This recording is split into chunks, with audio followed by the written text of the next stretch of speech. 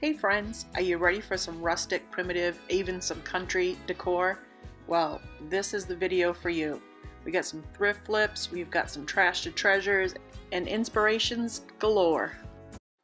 I thrifted this box from Goodwill and I am excited to do it over. I love the tall handle on it and it's a sturdy box. So I'm going to take this off-white color of craft paint and I'm going to give it a paint job of all over of two coats of this. Now I didn't really like the coverage so I darkened it up with some antique wax a little bit so you can see I just added a little drop or two to my paint and mixed it in and it came out a little bit darker. I added some baking soda to the paint, there wasn't much left, and I sponged on uh, and made a textured uh, paint on the front and the back of this box and I think it worked really well to cover up the paint job from the original box. I sanded it down just a little bit because it was quite heavy on the texture. It still is, but I like it a little bit better. And then I took some of my distressing spray. This is from Tim Holtz. I will have a, a link down in the description for this for you if you're interested. And I just gave it a quick spray just to age it a little bit and then I went around the whole box around the edges with my paintbrush with a little bit of black paint on it to just highlight the edges. I want this to look distressed and aged like I always do with my decor. This one I got a little bit heavy down in the corner, but that's okay. It comes off. There we go. And it just adds to the distressing. I got this Home Sweet Home stencil in a pack of a bunch of stencils from Temu, and I'll link that down in the description if you're interested. These are really nice stencils. They're thick, they're uh, great to work with, easy to clean, and I really, really like using these. They're very good quality. So I'm just setting that on the top of the box, and I am uh, just dabbing some paint on the top to get that black paint down in my stencil. This came out great and I used my spray matte sealer to seal the box in and it is finished.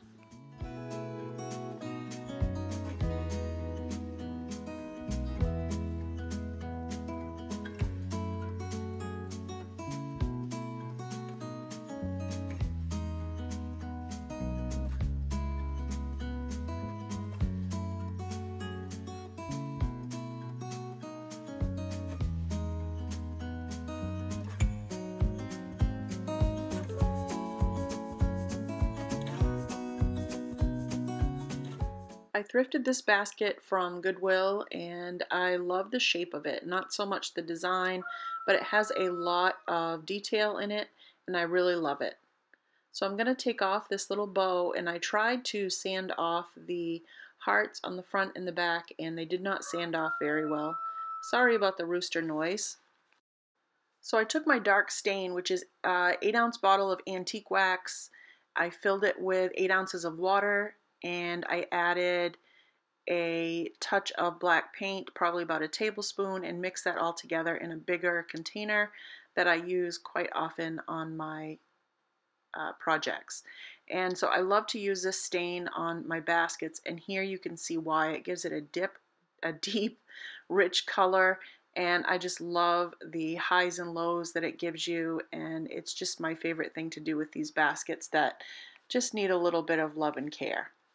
So did, a, did that all over and I did the slats in the middle, but I didn't do the middle part. I didn't bother because as you can see, I'm going to be covering it up with this material. This is black and tan checked homespun material and I get this from Hobby Lobby, but I'm pretty sure you can get this online. If I can find a link, I will um, attach that in the description as well. So just like a belt, I kind of went inside the loops there. I took a safety pin and uh, put that on the end so it was easy to grab and I just uh, pulled that through those loops all the way around to cover that up. I really love how this came out and it's just one of my favorite things to do with these baskets is the dark stain and then adding that homespun material, it just gives it such a rich, deep look. Cut that off and then just uh, glued underneath one of the little loops there so you couldn't see it. And then I took a rusty star that I had, a little one, and I glued that to the front. And then this flip is done, and I am just in love with this basket. It has such a great rustic country look to it now.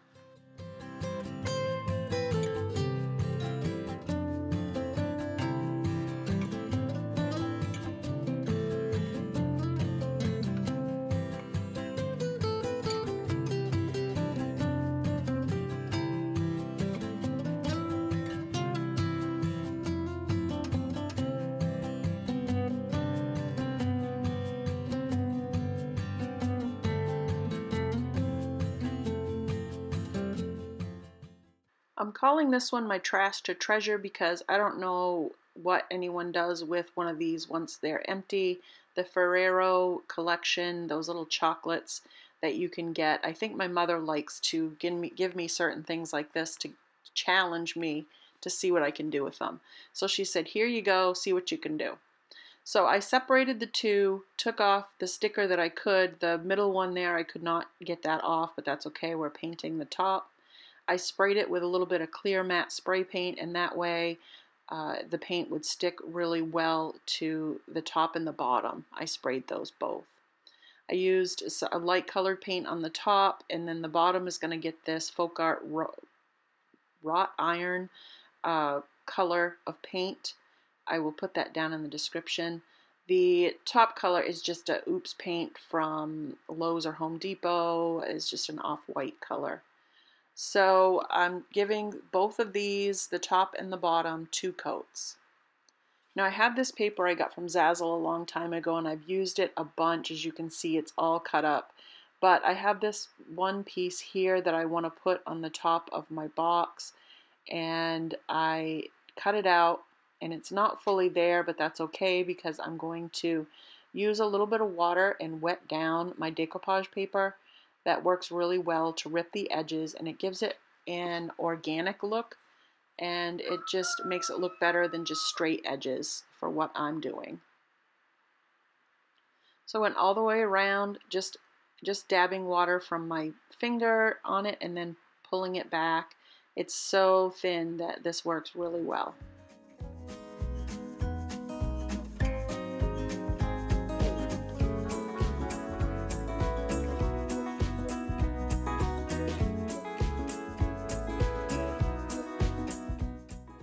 Once my box top was dry, I took some Mod Podge and put that on the middle top part so that I could uh, add my decoupage paper. I set that on there and made sure it was fairly straight and then used my brush with a little bit of Mod Podge to get the edges to stay down and then I gave it a nice coat all over the top to seal it in.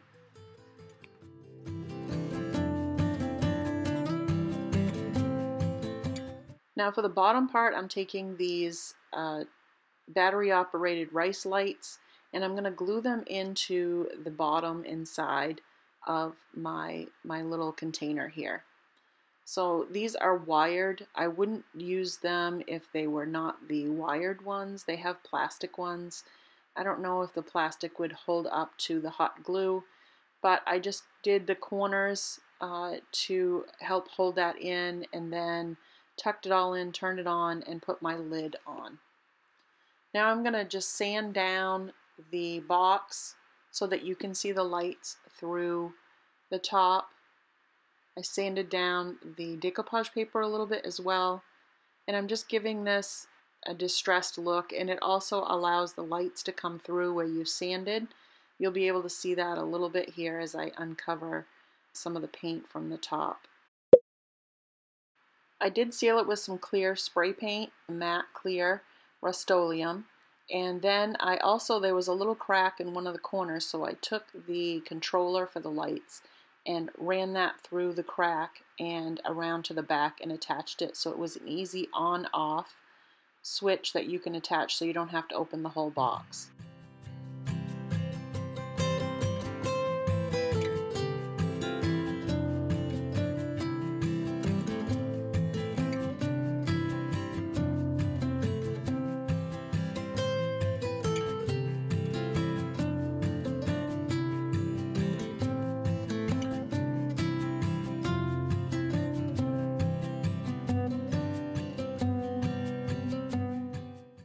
I've had this plate mat in my stash for a really long time and I wasn't sure what I wanted to do with it, but I decided today that I wanted to get it out of the way and use some of my dark stain and put it around the top. It didn't really change it any, and then I went ahead and grabbed my sandpaper and sanded around the edges to give it a distressed look. It again didn't change it a whole lot because it was already looking distressed, but I didn't really want to paint this because I wanted a dark uh, rustic look to it. So I took some Mod Podge and some decoupage paper and I cut the decoupage paper down so that it would fit into the middle. I'll leave the other half for something else. And this one has a little uh, bee on it and some Uh, maybe even a butterfly. I don't know. It's kind of a weird, abstract little piece, but I kind of liked it in this setting. So I took my Mod Podge and just gave it a good coat in the very middle and went all the way around with it. And then I added my paper to the top and made sure that it was sealed in really nicely. I also took my plastic wrap and I put it over the top with my roller and I rolled it in it's a very textured material, so I wanted to make sure that uh, the paper was in there and I didn't care if it came through with that basket weave. I thought it would look just fine. So I got that pushed in there and just rolling it all on so it will stay down. I then took a, my razor blade and cut around the edges where I had it a little bit too long. There was just a couple little spots there. And then I took my Mod Podge and sealed in the picture so that it would not come up. It also makes it easier to clean. I added some jute rope around the edge to make it look more finished, and I think this is done.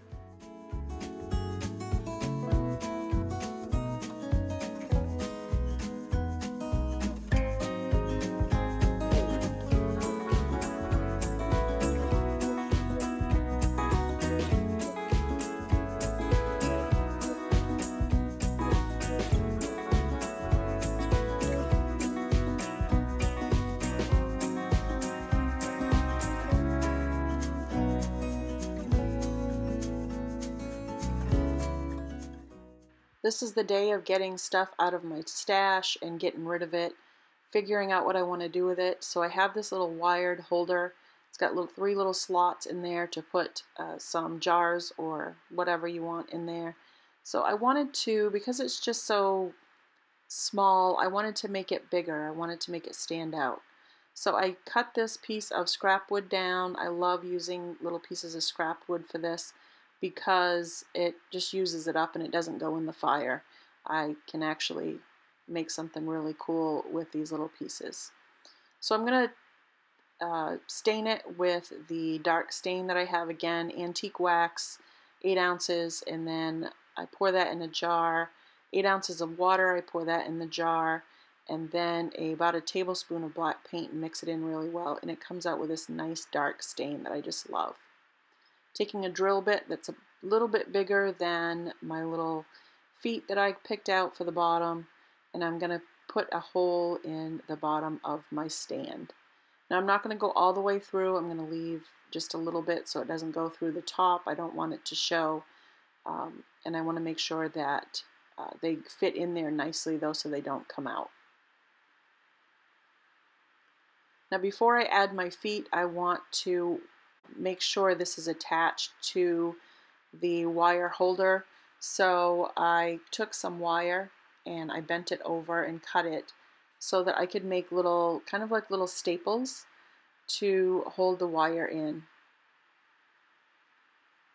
And so I'm just going to set it on there and make sure it's centered and then take those little pieces of wire that I bent over and I'm going to put those over the wire in that little holder and just one on each end holds it in nicely. I didn't use any glue or anything, that was kind of my goal.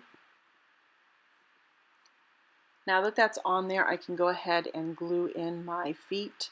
I didn't want to put those in until I was done hammering, so there we go. Those are all glued in, and I think this looks so cute. I have these little jars. I bought a whole big pack of them to do something with a long time ago, and I still have a bunch of them. They have clear or opaque lids on them, so I'm going to take those and uh, spray paint them black so that they will match the whole aesthetic that I'm going for with this, a little rustic primitive uh, little organizer. And there we go. I sprayed them and then sealed them with the uh, Rust-Oleum clear spray paint. Added those in and I think this looks so cute. Now it could just go like this, but I also have a piece of homespun material. I'm just going to wrap it around it and give it a little bow, and I think this came out so cute. What do you think?